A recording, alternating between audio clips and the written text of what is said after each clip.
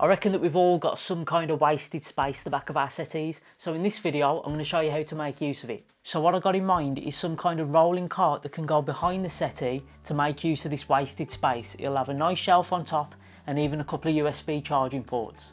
Before we start making any cuts we first need to get some measurements. The first one being how long is the settee?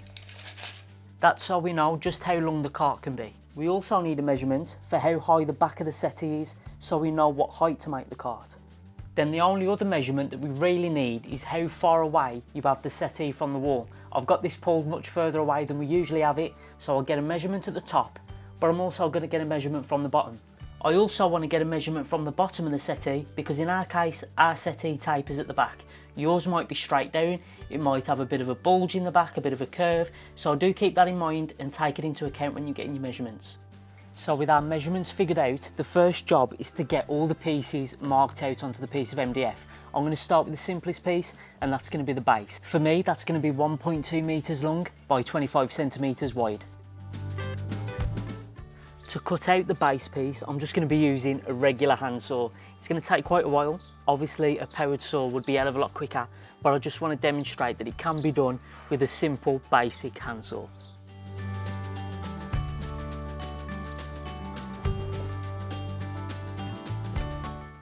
The next piece that I'm going to cut is one of the triangle side pieces. Now this is 75 centimetres in height.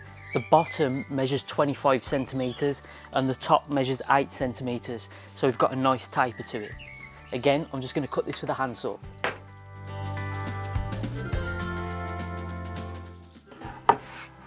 And there's one of the side pieces. So I went ahead and cut out another triangle piece exactly the same as the first one. I've got one more triangle piece I need to cut out, but this one's going to be a little bit shorter. That's to take into account for the thickness of the base and the thickness for the strip of the MDF we're going to have sitting across the top.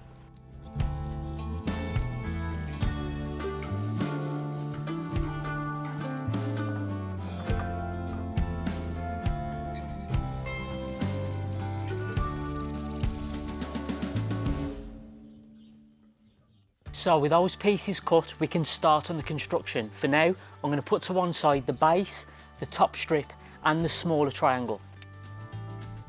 Because before we get to those pieces, I'm going to first pre-drill some holes into the two side triangles.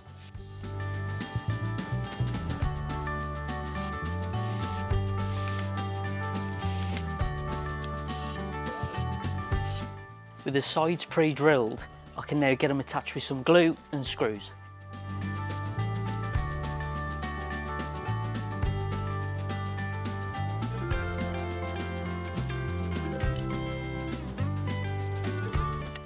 Now that I've got the side triangles attached to the bottom piece, I can get the top thin strip attached with some more wood glue and a couple of screws. Now the basic frame is constructed, I can add the smaller middle triangle piece.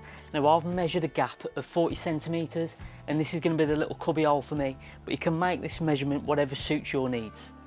Now this is going to get attached in the same way with some wood glue and some screws in from the bottom and from the top.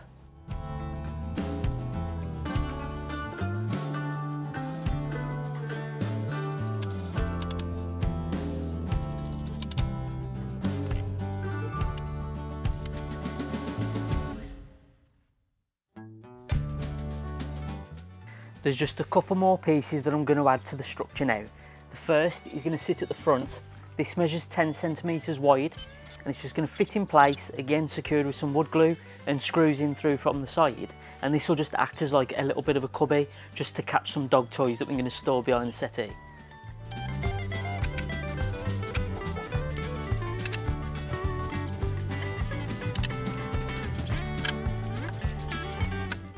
The MDF part of the construction is done now. I just need to go around and fill where I've put screws. Because I'm going to be painting this, it doesn't really matter what it looks like underneath the paint, just as long as it's nice and flat.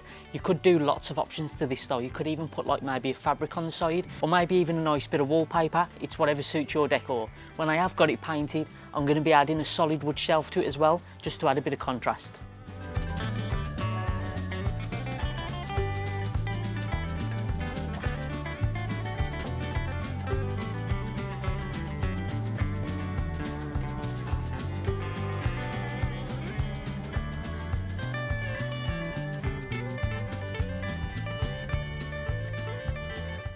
So the MDF construction has had two coats of paint now, so I can move my attention onto the solid wood shelf. I'm going to allow for a little bit of an overhang either side, roughly one and a half centimetres, and then I can cut this off to length.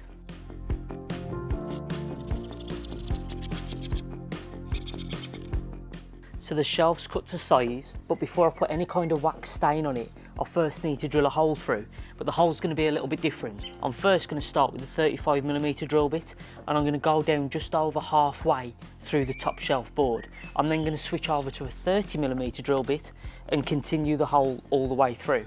The reason for this is because I'm going to be adding this USB hub to the top of the shelf. Now the size of this will fit through the 30mm hole perfectly, but it doesn't leave any room to attach the nut on the other side. So that's why I need the slightly bigger hole. We drill the bigger hole first because this drill bit leaves a nice point ready for the smaller drill bit to carry on. If I started with a smaller drill bit, it's really difficult to start the bigger one afterwards.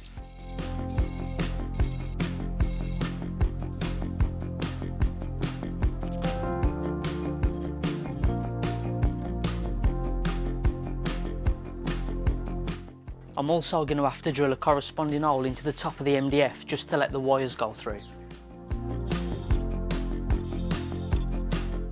So now we've got the holes drilled and everything's fitting nice. I've gone ahead and sanded this smooth so now I can apply some wax stain.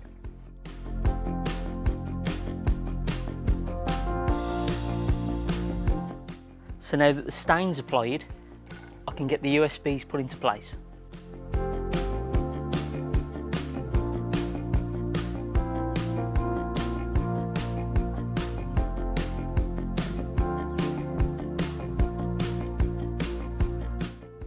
Now the top just gets secured in place with screws. No glue on this just in case we need to remove it later.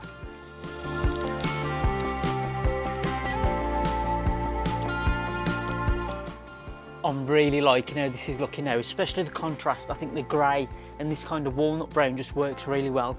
Having the USBs is going to be a lifesaver, but we still need a way for it to be able to slide in and out. So to do that, we're going to add four casters on the bottom.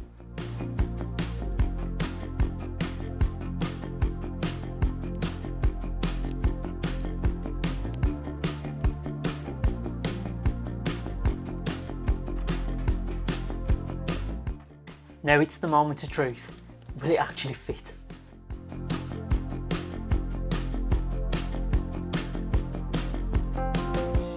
Only perfect. As well as the storage behind the actual settee, of course you can use the shelf to put things like a potted plant on. You could also add a lamp, any little knickknacks that you like. And of course, let's not forget that USB charger.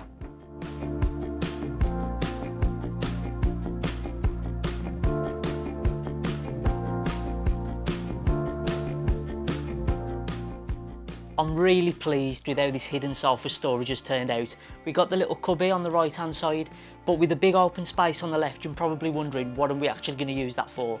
Well, we're not 100% yet, that's why I've left it so open.